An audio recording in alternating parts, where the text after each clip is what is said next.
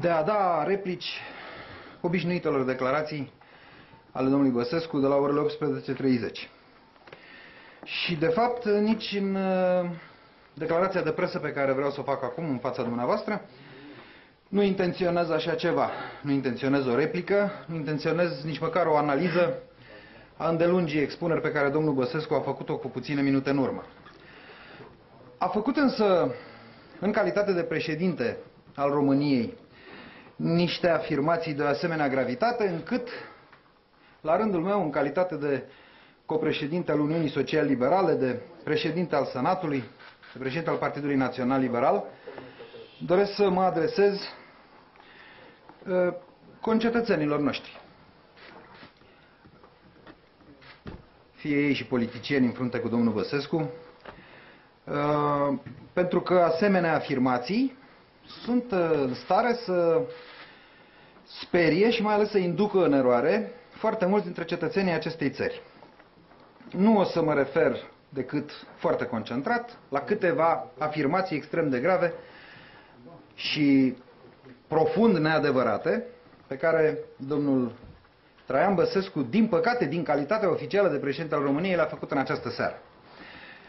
Mai întâi privitor la statul de drept, la situația internațională a României din această privință și la mesajul înaltului emisar al guvernului american.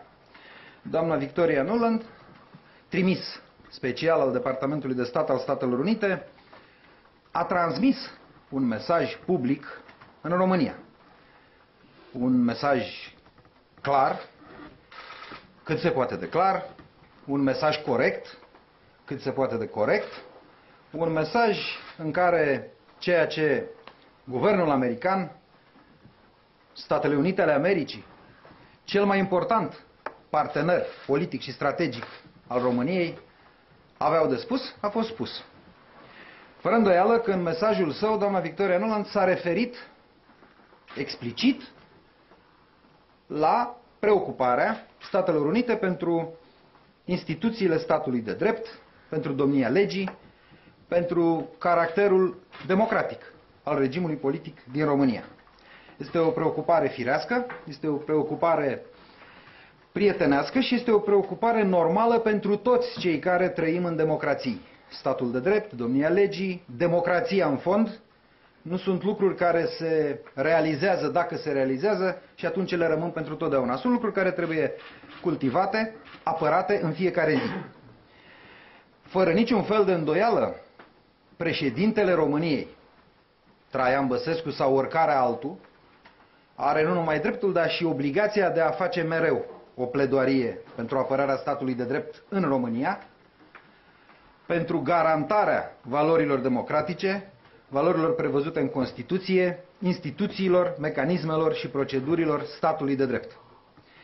Numai că domnul Traian Băsescu în această seară, nu e prima dată, dar în această seară a fost foarte flagrant, s-a erijat într-un supraemisar al Guvernului Statelor Unite, spunând cu totul altceva decât ne-a spus foarte limpede doamna Victoria Noland. Doamna Victoria Noland și niciun alt reprezentant al guvernului american și niciun alt oficial al vreunui partener al României, din NATO sau din Uniunea Europeană, nu au vorbit, nu au spus, nu au sugerat vreodată, oricât de abil, că România este cu un picior în prăpastie sau că e pe marginea prăpastiei. Citesc din Traian Băsescu. Niciodată vreunul din acești parteneri oficiali ai României nu au evocat starea de izolare a României sau iminența unei asemenea posibilități. Domnul Traian Băsescu este încă în funcția de președinte al României, dar nu este singur oficial român, chiar dacă e cel mai înalt, care are contacte cu parteneri externi. Primul ministru Victor Ponta în 2013 s-a întâlnit cu aproape toți cei mai importanți parteneri ai noștri. La rândul meu, în calitate de președinte al Senatului, am avut întâlniri oficiale cu omologii mei din Marea Britanie, din Franța, din Spania, din Italia, din Polonia. Niciunul dintre ei vreodată nu au tratat România nu au tratat situația României ca fiind, din punctul de vedere al democrației, al statului de drept sau din vreun alt punct de vedere, pe marginea prăpastiei sau într-o stare de izolare. România nu poate fi într-o stare de izolare, pentru că România este parte integrantă a unor structuri și alianțe de securitate și politice care garantează ieșirea din izolare. România este parte a acestor structuri și va rămâne parte a acestor structuri prin eforturile poporului român, prin eforturile mai multor rânduri de guverne și de oficiali români, prin eforturile mai multor președinți, alții decât Traian Băsescu, și această calitate nu a fost pusă de nimeni, în afară de Traian Băsescu, în discuție. Sigur, preocuparea pentru apărarea statului de drept este legitimă la noi toți, cei care facem politică, la dumneavoastră cei care faceți presă, la societatea civilă. În sensul acesta, emisarul american Victoria Nuland a vorbit despre interesul cetățenilor, al poporului, de a apăra statul de drept, de a-și apăra alcătuirile democratice, de a apăra o legislație democratică. Ce se întâmplă în România astăzi de suntem pe marginea prăpastiei? Nu avem legi democratice? Eu cred că da. Nu avem un stat de drept? Eu cred că da. Nu se aplică aceste legi? Eu cred că se aplică. Justiția nu dă deciziile pe care le consideră de cuvință? Eu cred că le dă. Sigur, sunt nuanțe, sunt discuții, sunt divergențe. A existat, într-adevăr, o discuție în legătură cu un proiect legislativ, unul, nu mai multe, adoptate în Parlamentul României, și anume modificările la codul penal, asupra cărora, în paranteză, fie spus, ca președinte al Partidului Național Liberal, am și spus foarte limpede, da, am dat un vot greșit, a fost o împrejurare nefirească, revenim, Procurorul General al Republicii i-a și cerut președintelui de altfel să retrimită acest text și mai avem un proiect despre care s-a discutat, care însă nu a fost votat, respectiv cel al amnistiei și grațierii, și care nu va fi votat. Care sunt celelalte amenințări? Care sunt acțiunile mele sau ale Uniunii Social-Liberale sau ale lui Victor Ponta împotriva statului de drept din România? Nu poți veni ca președinte al unui stat și să mai și ceri să nu ți se interpreteze politic vorbele și să spui asemenea lucruri. Nu poți veni să sperii cetățenii acestei țări, care au atâtea și atâtea alte probleme și printre ale căror puține garanții este aceasta că fac parte din familia occidentală, din familia europeană, nu poți veni să-i minți. M-aș referi la o chestiune foarte precisă, în care în această seară Traian Băsescu a trecut pragul interpretării răuvoitoare. Pur și simplu a dezinformat națiunea română. Națiunea pe care ar trebui să o reprezinte. Națiunea în fața cărei ar trebui să fie primul și cel mai credibil om. Domnia sa a vorbit despre o măsură adoptată în Parlamentul European de monitorizare a îndeplinirii criteriilor de la Copenhaga și de, în caz contrar, deci în caz de neîndeplinire acestor măsuri și criterii, de măsuri represive. Blocarea fondurilor europene, etc., etc. Este o minciună fără precedent ca domnul Băsescu să prezinte românilor acest lucru ca vizându-i. Realitatea este simplă și se poate verifica. În Comisia Libe, Comisia de Drepturi și Libertăți Civile, a Parlamentului European, s-a inițiat un raport care a fost votat în comisie și care urmează la începutul lui februarie să fie supus plenului. Un raport care nu privește nici România, nici vreo altă țară, dar care nu se poate referi la România.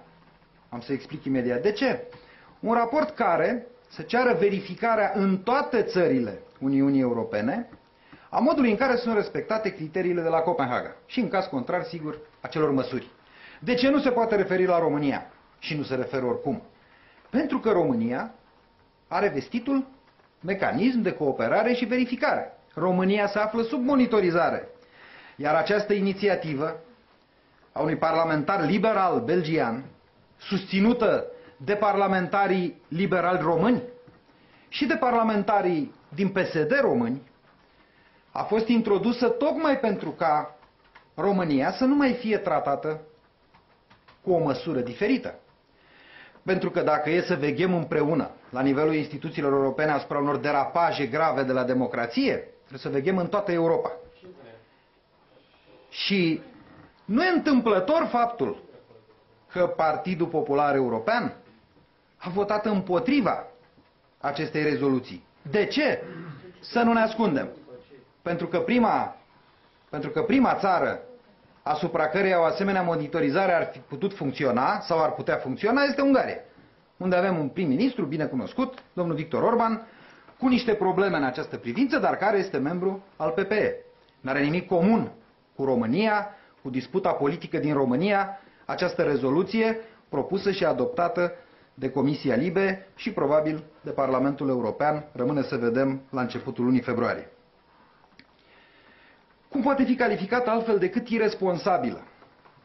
Ieșirea unui președinte de țară din Uniunea Europeană și din NATO, care vine și spune, ca să dea așa un exemplu, că ar fi posibil ca noi, noi aici în România, să prindem, citez, da? Să prindem teroriști și prin aranjamente să-i albim, să-i facem scăpați.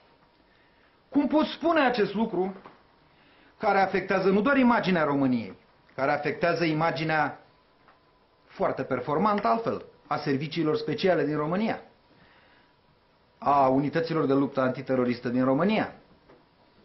Cum poți face asemenea afirmații responsabile în momentul în care, măcar din acest punct de vedere, România are un foarte bun prestigiu în ochii partenerilor euroatlantici?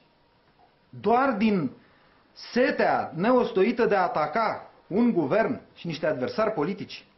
Nu se poate așa ceva și faptul că asistăm la această degradare politicianistă a discursului unui președinte trebuie să ne facă să ne gândim și mai bine la proiectul de modificare al viitoarei Constituții.